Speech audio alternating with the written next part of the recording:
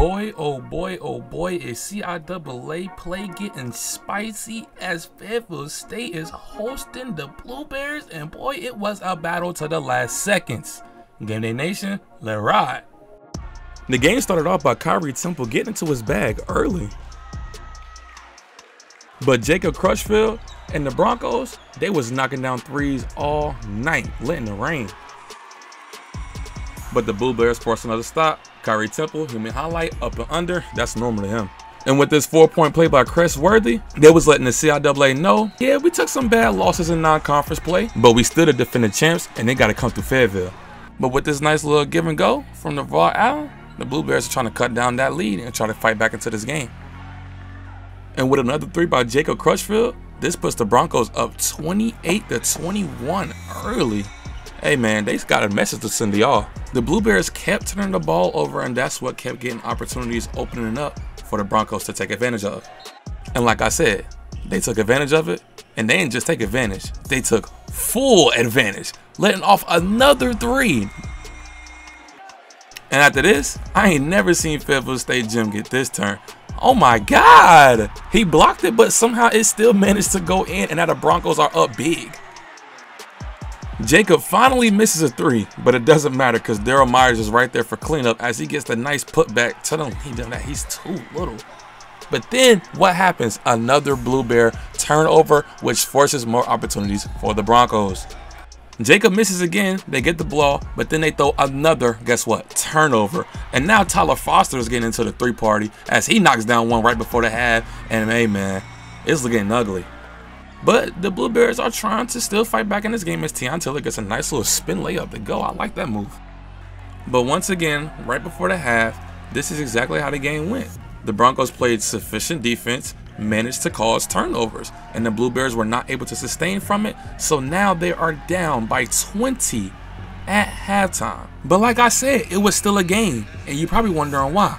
This man right here, Kyrie Temple, he turns up and goes off for 24 points and a half. And I got all the buckets to show you. Back him down. He's too little. Let's get to the bucket.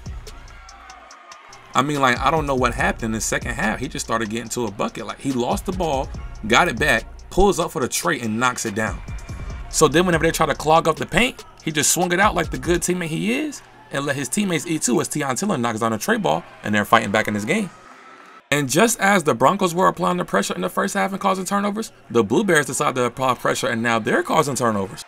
And now they're moving the ball on offense, getting it down low to Quan Leach as he's double teamed, but somehow, someway still manages to put this in, and the Blue Bears are fighting back in this game. And the Kyrie Temple show continues. Come off the screen, hold on, skip the me lane, over your head, lay, and one. He goes to the free throw line, knocks down both free throws to only put the Blue Bears down only eight. But let me tell y'all, man, when the Broncos needed a bucket, Caleb Coleman stepped up and knocked them down. But my dog Kyrie came back and said, man, anything you can do, I can match it. Back him down, back him down. Up, nice little drop step. Let me get the lay. Come on, man. Like, he was in attack mode. He getting the ball. Hey, yo, come set this screen right now. I'm getting to the rim no matter who's in front of me. But like I said, man, Big Shot Caleb was what I'm about to start calling him. Because, bro, when they needed it, he delivered, man. Like, he came in clutch for the Broncos. And off the nice little give and go screen and roll action, Daryl Myers gets a nice little head tap.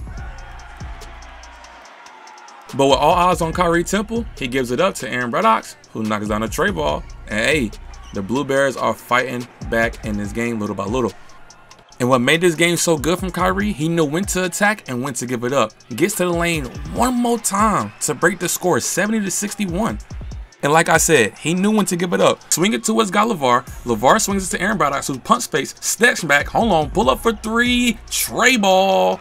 Now the Blue Bears, hey, they fighting back into the game, man. 64-72, they might come back. In the first half, y'all seen the Broncos causing turnovers, but now you see the Blue Bears causing turnovers. And off the Blue Bears turnovers, they look to turn them into opportunities as LeVar Allen sees the defense slow to get back in transition, goes up, hey! And one ref caught that. The shots stopped falling as much for the Broncos, and now they're trying to figure out a way to get rebounds, but the Blue Bears force another Turnover as Kyrie Temple gets the ball. Skip to me lane. I'm taking this myself. One more time. Lay and one. And now the Blue Bears are only down three. But hey man, Tyler Foster said, look man, I ain't losing this game. Give me the ball and just get out my way. Skip to me lane, lay. I love it. And if you want one play to show you how the Blue Bears came all the way back in this game, this play is it. They miss a three, but the great hustle by the Blue Bears find another way to get a shot, and it leads to a dunk. Those little hustle plays don't normally make it into highlights, but those are the plays that keep you in the games. But Mr. Clutch, Caleb Coleman, man, change his name to just Mr. Clutch, because the K and the C both stand for clutch, as he came in clutch with another tray. But the relentless effort from Kyrie Temple right here leads to another Blue Bear bucket as he fights through like three people right there and gets the rebound on his own and lays it. And with the Blue Bears down three, they play some defense as they force Crest to miss a jump shot, which he barely did all game. They slow the ball down. LeVar brings the ball to the court. He sees his guy Aaron open in the corner. Pump face, jab step. Let's step back one more time. Shebang bang. The Blue Bears have now tied the game up at 77. And we're down to one shot. Who do you think they going to? Mr. Clutch. Caleb Coleman. One more time. He hits another tray. Like, I don't know why they wasn't playing defense on him. He hits another tray. The crowd is turned, and the Blue Bears need a timeout for one more play. Now, y'all seen last week where Coach Stinson and the Blue Bears drew it up to beat Claflin for the last second play. Let's see if they can do it one more time. But the Broncos right here, they're playing some solid defense. They sliding their feet on D, the crowd behind them, and they force up a miss shot. They get the rebound, and this pretty much seals it for the Broncos, man.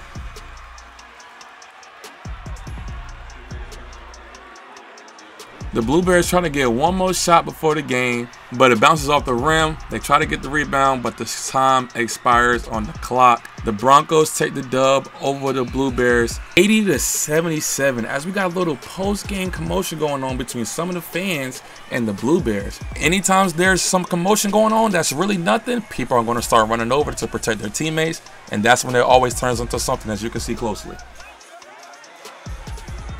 And you can just see the rivalry brewing right here. And I promise you, both sides is going to remember everything on February 9th whenever the Blue Bears host the Broncos in Nutrien Gymnasium. Broncos was quick to let them know that it was time to go and wave them goodbye.